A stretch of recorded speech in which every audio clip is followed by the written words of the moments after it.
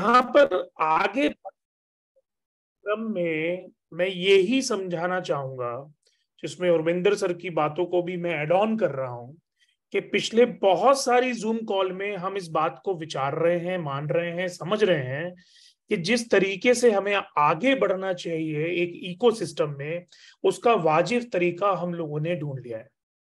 और क्योंकि बहुत सारे लोगों का डोमेन ही सिर्फ़ नेटवर्किंग से डिस्ट्रीब्यूशन का है बहुत सारे लोग आज भी अलग अलग प्लेटफॉर्म में किसी भी तरीके से अपने आप को फसावा महसूस करते हैं, या जो प्रॉपर इकोसिस्टम के तहत वैल्यूएशन मिलके उसका लिक्विडेशन प्रोसेस होना चाहिए, वो नहीं समझ पाते हैं। मैं तमाम लोगों को फिर से यहाँ पर याद दिलाना चाहता हूँ, हमने अपनी वाइजेट एलवन ब्लॉकचेन पे 96 परसेंट काम पूरा कर दिया है, कुछ चार परसेंट काम रह रहा है जिसमें यहाँ पे ओपन सोर्स में कोई भी डेवलपर आके अपना एपीआई डॉक्यूमेंटेशन करके कॉन्ट्रैक्ट वेरीफाई करके स्मार्ट कॉन्ट्रैक्ट को यहाँ पर डाल सकता है। उसके साथ साथ अगर इसके रिसोर्सेज हो चार्ट्स हो टॉप स्टेटिस्टिक हो डायरेक्टरी हो एपीआई डॉक्यूमेंटेशन हो, या टेस्टनेट टेस्टनेट हो या मेन नेट हो, उन तमाम तरीके से यहाँ पे यूजेबल है। मुझे ऐसा लगता है अगले दो से तीन हफ़्ते में इसको हम प्रॉपर टेस्टनेट और मिननेट को कर देंगे, जिसमें ये ओपन सोर्स में किसी के भी लायक होगी। इसका मतलब क्या है? दोस्तों ब्लॉकचेन एक ऐसी टेक्नोलॉजी है जिसका क्रिप्टो करेंसी एक यूज़ केस है। उस यूज़ केस में क्योंकि बहुत सारे मानते हैं और अभी भी है कि यहाँ पर कुछ ही पैसे लगा के करोड़पति बना लेकिन तमाम चीज़ों के पीछे सिर्फ़ होल्डिंग कैपेसिटी है और उससे पहले वहाँ पर एज अ वैल्यूएशन कैपेसिटी है। इन दोनों के बीच में एक लिक्विडिटी का प्रोग्राम होता है, जो कहीं ना कहीं किसी ना किसी ब्लॉकचेन पे चल रहा होता है। लिक्विडिटी प्रोग्राम को हम या तो के माध्यम जानते हैं, या और तरीके से डायरेक्ट इन्वेस्टमेंट के माध्यम जाते हैं, या बाइट सेल के माध्यम से जानते हैं, या इनके ईटीएफ इंडेक्स या इन म्यूचुअल के माध्यम से जानते हैं।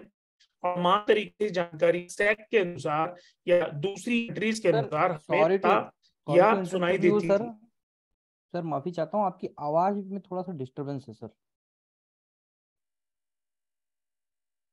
मैं तो सिग्नल में हूँ। हाँ पर अभी आ रही है? हाँ अभी आ रही है और मुझे लगा शायद मेरे नेटवर्क में दिक्कत है तो आ, मैंने दूसरी जगह से कंफर्म किया वहाँ भी ग्लिच है। हाँ अभी ठीक है okay. तो बहरा में यहाँ पर ही कि प्रॉपर इकोसिस्टम को बनाते बनाते हमारी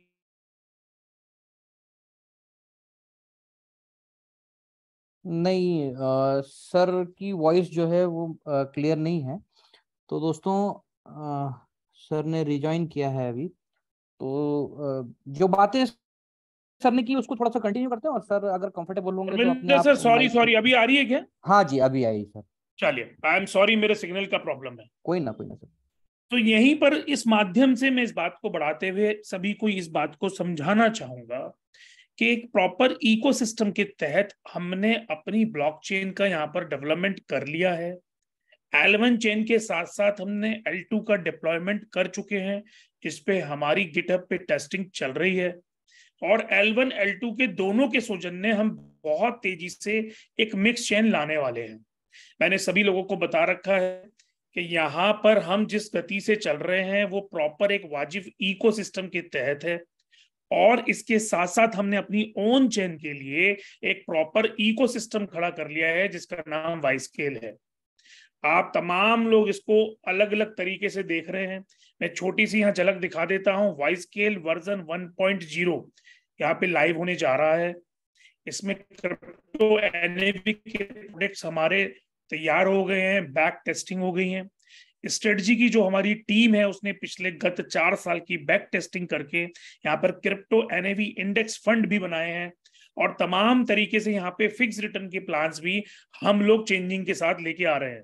यहाँ पर अगर मैं कम्युनिटी की बात करूँ, जो कि क्रिप्टो इकोसिस्टम के तहत होती है तो दोस्तों, चाहे आज इथेरियम प्रोटोकॉल हो ट्रॉन प्रोटोकॉल हो, या फिर मैटिक प्रोटोकॉल हो, या कोई और, सारे ही प्रोटोकॉल के अंदर एक वाजिब लिक्विडेशन का, एक वाजिब स्टेकिंग का, एक वाजिब उनके साथ साथ ऐसा नेटवर्क तैयार किया गया है जिसमें 24 फोर बाई सेवन वो अपने इकोसिस्टम को लिक्विडिटी दे सकते हैं।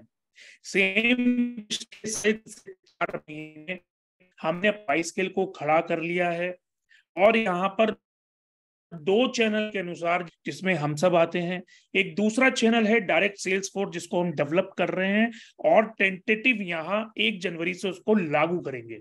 जी हाँ मैं तमाम तरीके से बताना चाहता हूँ। पहले भी प्लानिंग के तहत हमने बताया है कि हम यहाँ पर वाई स्केल को हिंदुस्तान का एक पहला डेफी करने जा रहे हैं।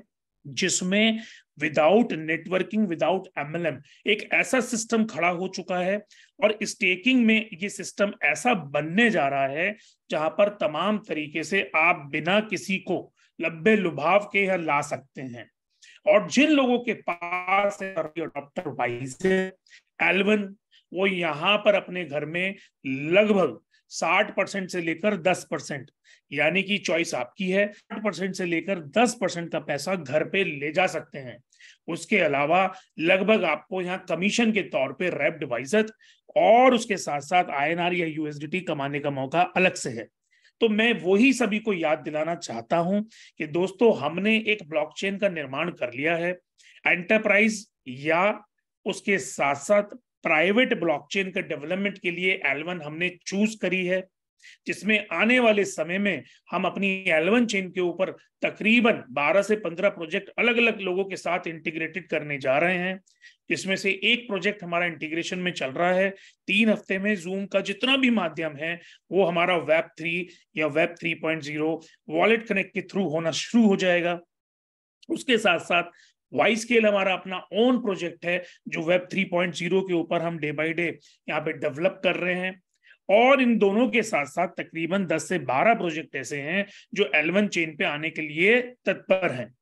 इनके साथ साथ जितनी भी कम्युनिटी है हमारी, उनमें से जितने भी डेफी एडवाइजर बन के इन्वेस्टर को लेके आना चाहते हैं और इस प्रोटोकॉल के माध्यम से अपने वाइजत को बुना के अपने लिए फाइनेंशियल फ्रीडम बनाना चाहते हैं, वो सभी लोग आमंत्रित हैं।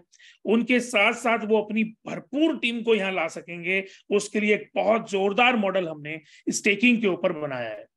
मैं तमाम तरीके से सभी को यहाँ बताना चाहता हूँ कि लगभग 25 तारीख से 27 तारीख के बीच में किसी भी दिन हम अपना क्रिप्टो एनएवी लॉन्च कर देंगे और इसके साथ साथ फिक्स्ड रिटर्न के हमारे एक तारीख से जो एक अगस्त से हमारे जो चेंजेबल प्रोडक्ट हैं, वो भी लाइव हो जाएँगे। और एक सितंबर से लेकर छह सितंबर तक हम लोग यहाँ स्टेकिंग को लाइव करने की तैयारी में हैं। आप सभी लोगों से यहाँ पर इस बात की समझदारी का आगाहन करता हूँ रिक्वेस्ट करता हूँ, प्रार्थना करता हूँ कि दोस्तों हम बहुत अच्छी कंडीशन में एक अपने डोमेन को लिए हुए हैं जिसको डिस्ट्रीब्यूशन मॉडल के तहत नेटवर्किंग आप लोग समझते हैं। लेकिन यहाँ पर जितने भी लोग आज की तारीख में एक स्ट्रक्चर्ड फॉर्म में अपना डेफी एडवाइजर कोड लेंगे और काम करेंगे, वो तमाम लोग ज़िंदगी भर उसी स्ट्रक्चर के तहत अपना कमीशन आन करेंगे और वाइजत प्रोटोकॉल के जितने भी तमाम वाइजत हैं, उनके वाइजत का एक बीस डॉलर के हिसाब से पैसा घर ले जा सकेंगे। सभी लोग स्वतंत्र हैं, सभी लोग कहीं पे भी काम कर सकते हैं, लेकिन वाजिब इकोसिस्टम जो हम तैयार कर चुके हैं, जिसको ऑलरेडी ट्राई एंड टेस्टेड हमने तीन से चार महीने हो गए हैं, कर लिया है। और आने वाले छह महीने के अंदर मैं गारंटी के साथ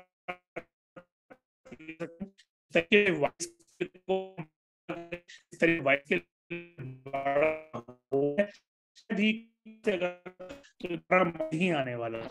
स्टेकिंग में अगले हफ़्ते की मीटिंग है, उसमें मैं पीपीटी रिवील कर दूँगा।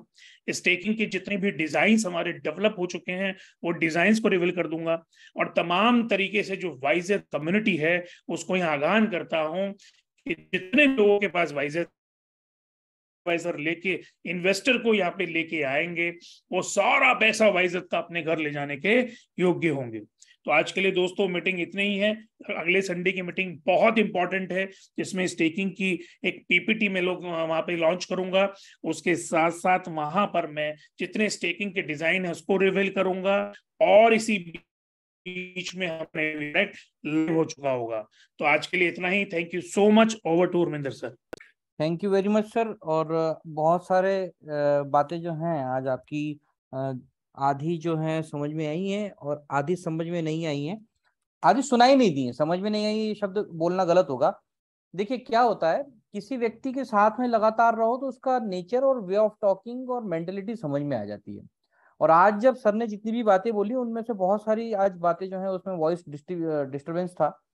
लेकिन चूँकि पिछले तीस एक महीने से लगातार इन मीटिंग्स को हम अटेंड कर रहे हैं तो कम से कम ये अंदाज़ा लगा सकते हैं कि अगला शब्द क्या होगा?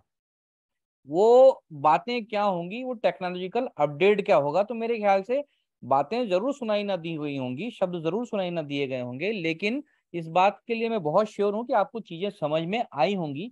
बहरहाल, एक पाँच मिनट का जो एक रिव्यू है, वो देख लेते हैं, अगर आपको चीज़ें समझ में ना आई हो तो। सबसे इम्पोर्टेंट चीज़ ये है, सर, कि आज ये बोला गया कि देखिए, जितने भी लोग यहाँ पर हैं, सब ज़्यादातर नेटवर्किंग से कोई ना कोई चीज़ का डिस्ट्रीब्यूशन करते चले आए हैं, चाहे वो प्रोडक्ट का हो, चाहे वो डिजिटल प्रोडक्ट का हो। अब यही डिस्ट्रीब्यूशन का जो एक तरीका है वाइजे जब टोकन था तो उसने अपनाया था कि कैसे भी करके हमें आईसीयू लेकर के नहीं आना, हमें आईटीओ लेकर के नहीं आना, हमें एयर ड्रॉप नहीं देना। एयर ड्रॉप दिया इनफैक्ट लेकिन सबसे ज़्यादा मेजर पार्ट किसका होगा? डिस्ट्रीब्यूशन का। तो एक तरीका ही अपनाया गया और उसमें सहारा लिया गया ऐसे एक्सपीरियंस लोगों का। तो पहली चीज़ सर ने ये क्लियर की। दूसरी चीज़ ये बताई कि भाई एल टू चेन का 96 परसेंट जो डेवलपमेंट है वो हो चुका है, चार परसेंट कहीं बाकी है और ये चार परसेंट जितना डेवलपमेंट तो सर मेरा मेरा ये मानना है कि आज भी इथेरियम में, आज भी ट्रोन में, आज भी बीएनबी में बाइनेंस में, इन सब में बाकी रहा होगा। और इम्पोर्टेंट बात यह है, सबसे इम्पोर्टेंट बात इनफैक्ट आज की मीटिंग की ये है कि जो हमारी ब्लॉकचेन है उस पर एपीआई ओपन सोर्स इनेबल कर दिया गया है। इसका मतलब ये है कि कोई भी व्यक्ति अपना कोई भी प्रोजेक्ट अगर लेकर के आना चाहे स्मार्ट कॉन्ट्रैक्ट के माध्यम से तो वो ब्लॉकचेन पर ला सकता है। दोस्तों, एक बहुत बहुत इंपॉर्टेंट है, कई लोग इस चीज़ को जानते भी हैं, कई लोग जान करके अनजान भी बनते हैं कि भाई, कोई भी टोकन या कॉइन को खरीदा क्यों जाए? तो नॉर्मली एक बेसिक थिंकिंग ये है कि उसे खरीद लो, भविष्य में भाव बढ़ेगा और बेच दो, बस, इसके अलावा और कोई नहीं। लेकिन जब कोई ब्लॉकचेन का निर्माण होता है और उस ब्लॉकचेन के ऊपर कोई कॉइन या टोकन आता है तो उस और कॉइन और टोकन की वैल्यू कब बढ़ती है? तो लोगों का नॉर्मली सोचना है कि भाई डिमांड और सप्लाई से बढ़ती है। डेफिनेटली ये, ये बिल्कुल शाश्वत सत्य है। लेकिन एक दूसरी चीज़ ये है कि उसका इस्तेमाल कहाँ पर है? तो उस पर्टिकुलर वाइजेड कॉइन का इस्तेमाल कहाँ पर है? उसके लिए एक यूज़ केस खड़ा करना पड़ेगा ना। तो वाइस स्केल हमारा वो दूसरा यूज़ केस है और ये जो स्मार्ट कॉन्ट्रैक्ट इनेबल किया गया एपीआई के माध्यम से कोई भी व्यक्ति जा सकता है तो वहाँ पर भी को, कोई व्यक्ति अपना खुद का कॉइन या खुद का टोकन कुछ भी लेकर के आना चाहे तो ला सकता है। लाएगा तो उसके लिए लिक्विडिटी पूल वगैरह खड़ा करेगा उसको पैरेलली हमारे जो बेसिक नेटिव कॉइन है वो चाहिए होंगे। तो अल्टीमेटली क्या होगा? इन वाइजेड कॉइन की खपत होना शुरू होगी यानी इसका एक यूज़ केस बढ़ेगा। तो एक तो स्मार्ट कॉन्ट्रैक्ट के माध्यम से एक बहुत बड़ी घोषणा है कि एपीआई ओपन सोर्स इनेबल हो गया आज, और दूसरा वाइस स्केल चल ही रहा है। ये हमारे यूज़ केस हैं एक्चुअली देखा जाए तो ठीक है? और इसके अलावा जो वाई स्केल जो हमारी वाई चेन का पेरिफेरल प्रोडक्ट है उसका 1.0 भी लॉन्च होने को है, और सर का कहना है कि 25 से 27 तारीख के बीच में लॉन्च कर देंगे, जिसमें एनएवी बेस्ड जो प्रोडक्ट हैं, वो जो टीम है, पीछे से जिन प्रोडक्ट को डिज़ाइन करती है, उसने इसको डिज़ाइन ना सिर्फ़ डिज़ाइन कर लिया बल्कि इसकी बैक टेस्टिंग भी कर ली है चार सालों के हिसाब से और क्रिप्टो का इंडेक्स क्रिप्टो इंडेक्स फंड के रूप में ये आपके सामने आएगा जो सक्सेसफुली लॉन्च हो चुकी है। तो सभी को बहुत बहुत बधाई हो, बहुत इंपॉर्टेंट चीज़ है दोस्तों ये।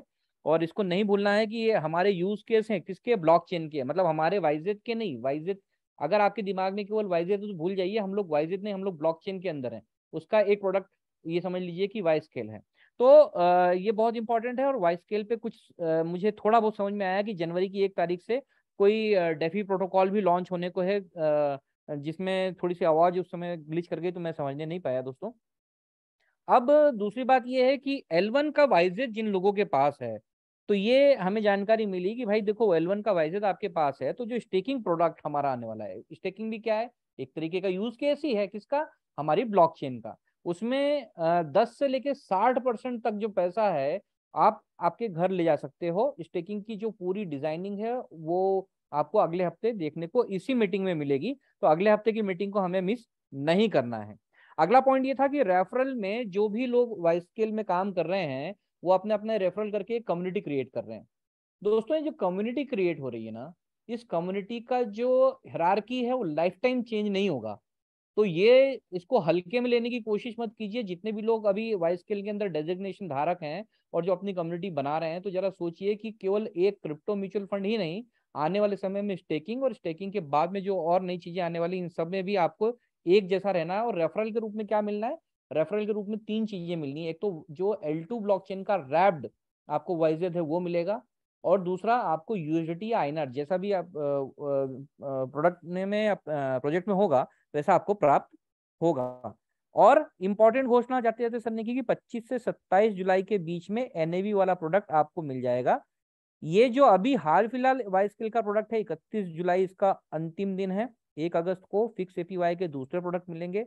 डेफिनेटली वो आज से ज़्यादा रिटर्न देने वाले डेफिनेटली नहीं होंगे दोस्तों।